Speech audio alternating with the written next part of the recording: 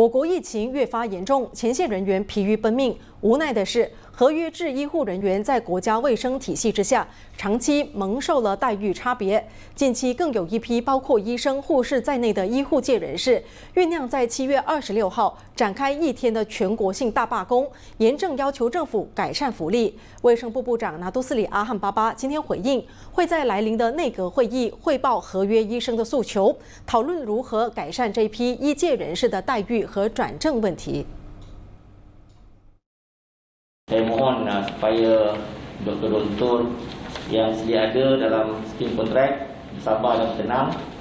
dan apa yang telah kita buat sebelum ini ialah kita telah pun menaikkan gaji dan juga penyelesaian grade daripada UD 41 kepada UD 43 iaitu gaji dan grade yang hampir sama dengan uh, pelantikan doktor tetap.